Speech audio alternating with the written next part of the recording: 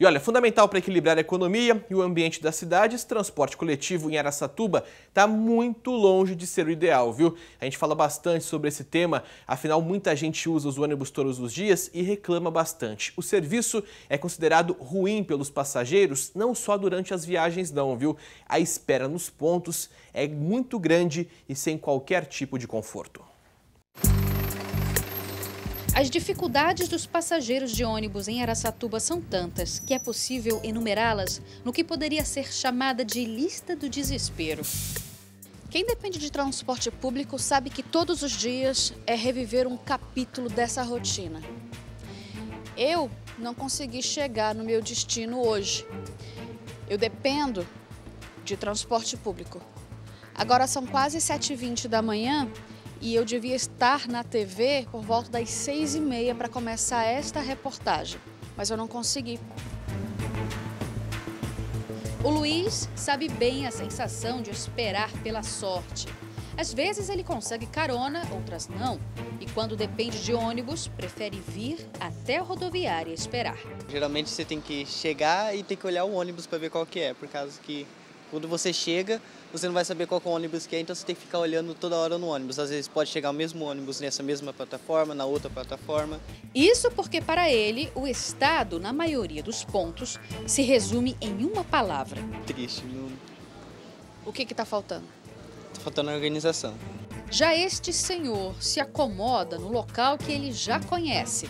Ele quer ir até o terminal. Quando eu chegava aqui, sete e meia, saía daqui, né? Sete e meia. Aí Devo uns, uns tempos que eu estou chegando aqui, não passa mais sete e meia. Aí eu não sei se é de meia, de, de meia em meia hora ou de hora em hora, né? Apesar de confuso, ele sabe aonde quer ir. Só não tem paciência para esperar quase uma hora. Sem alternativas, ele segue viagem a pé. Atua Transportes Urbanos Araçatuba, que opera o transporte coletivo há mais de 45 anos, venceu a licitação para continuar prestando serviço na cidade por pelo menos mais 10 anos. A tarifa custa R$ 3,65 depois do reajuste em agosto do ano passado e anunciou um aumento na frota de ônibus. Mas esse dado parece irreal para quem enfrenta as dificuldades. O tempo que os coletivos perdem no trânsito reflete no aumento de intervalo das viagens e para quem espera do desabrigo de algumas paradas de ônibus, que deixam muito a desejar. Bancos quebrados, lixo no chão e sem abrigo adequado. Até mesmo em locais mais estruturados, o desconforto é percebido. O ponto de ônibus na Duque de Caxias, com a Marechal Deodoro, um dos principais corredores de tráfego, só um abrigo é coberto. O restante não protege nem do sol e nem da chuva. É um ponto de muito, muito pedestre, né? muito funcionário e muitas pessoas que utilizam o ônibus. Então pegam aqui para não ir até o terminal.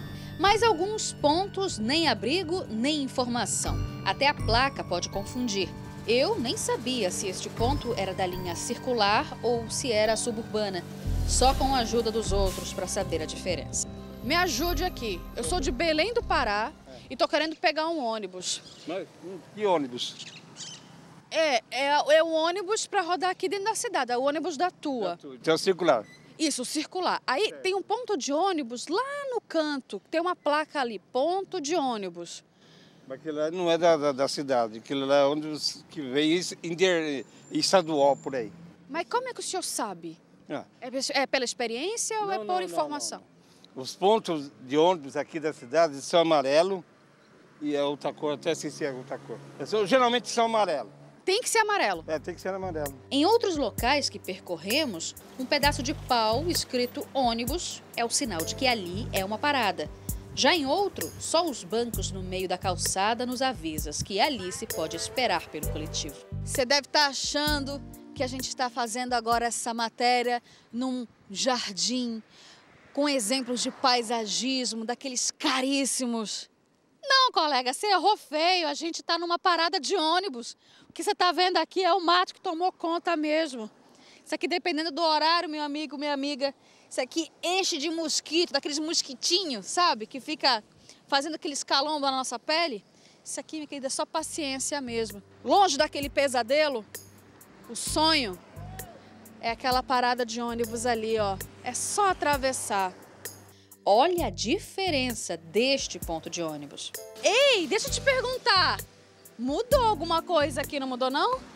O quê? A parada de ônibus não era assim. É, antigamente não tinha, nós ficávamos embaixo da árvore lá tomando as cagadas das pombas. Você tá brincando que a gente ficava ali, não, Ian? Ali, ó. Menina do céu. Agora mudou, agora fez essa barraquinha. Faz pouco tempo que fizeram, né? Enquanto ela vai embora, voltamos para o outro lado da rua e encontramos Dona Lindalva, à espera de seu ônibus e com mais um relato de apuro que passa ali. Dona Lindalva, hoje o dia tá bom para pegar ônibus, não tá não? Pelo menos aqui. É, porque esse lugar aqui é difícil para nós pegar ônibus, porque é a hora do sol, minha filha, mas é quente aqui. Nossa, agora hoje tá bom. Hoje não é? É, tá bem fresquinho, né? O problema do desabrigo ou a falta de pontos de ônibus pode estar mais próximo da solução. A ideia é conseguir a adesão dos empresários para que a lei adote um ponto de ônibus, sancionada em 2018, avance. Lembra do ponto todo bem estruturado? Pois é, ele é um dos 30 já construídos pela iniciativa. Se as melhorias necessárias são muitas, o caminho para reconquistar os usuários passa por definir prioridades. Nós vamos iniciar pelos locais prioritários. Quais são esses? Onde nós temos o maior número de idosos que pegam ônibus ali, onde nós temos o maior número de pessoas mesmo, né, de trabalhadores que pegam o, ônibus ali. Então nós estamos verificando esses locais de maior fluxo na cidade, principalmente nas ruas que dão acesso aos bairros, né, onde tem linhas que dão acesso aos bairros. Olha, eu posso te garantir, conhecendo várias cidades da região, Rio Preto, Araçatuba, Prudente, eh, cidades que têm transporte público como Catanduva também, enfim, o sistema de transporte de Araçatuba é o pior, sem sombra de dúvidas. Não adianta querer falar o contrário, porque é. Quem usa o transporte público sabe. Já andei de ônibus fazendo reportagens, já andei de ônibus, inclusive, na minha vida particular. A situação é complicadíssima, gente. Não adianta querer tapar o sol com a peneira, nesses lugares aí, principalmente, que não tem estrutura nenhuma, né? Você vê Rio Preto, por exemplo, nos corredores, pontos de ônibus modernos, com cobertura, ah, banco para sentar, enfim, é uma realidade em vários pontos da cidade. Quanto do outro lado, a gente tem Araçatuba, isso que a Priscila é, Andrade mostrou muito bem ao longo de toda essa reportagem. Esse é o drama vivido todos os dias por trabalhadores, por aposentados, por estudantes que precisam enfrentar essa situação lamentável. É a estrutura que não presta, é o transporte público que demora e quando vem ali o ônibus, muitas vezes vem cheio. E o que chega de reclamação para a gente no WhatsApp do SBT Interior, no 18 991453155, o que chega de reclamação aí sobre o transporte coletivo, meu amigo, você não imagina, não está escrito, viu? Todo dia é uma enxurrada de mensagens. E um telespectador, inclusive,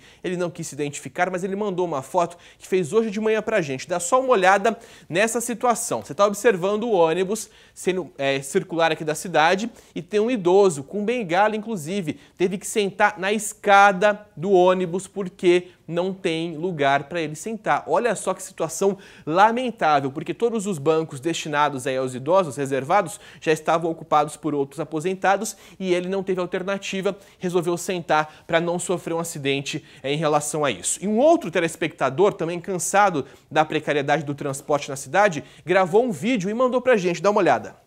Agora é 8 horas da manhã, tem cadeirante aqui também. Vou mostrar um pouco para vocês, ó superlotação, todos os bancos todos cheios, várias pessoas que trabalham. Agora é 8 horas. Estão é, pegando mais de 3, 4 quarteirões para poder pegar ônibus. Tiraram várias linhas aqui de Araçatuba. Tá terrível, tá um transtorno muito grande. O pessoal quer ser ouvido, eles estão cansados desse transtorno. Estão cansados mesmo. Todos os dias pagam 3,65 para não valer nada. Não vale nada, porque são os ônibus caindo aos pedaços, ou que nem sardinha enlatada dentro do transporte coletivo, ou então o motorista dirige parecendo que tem gado, tá carregando gado de tão rápido, passa pelas crateras que tem na cidade que nem uns doidos. Por quê? Porque ah, muitas vezes tem o trânsito, tem a questão do intervalo que ele tem que cumprir para poder seguir a jornada.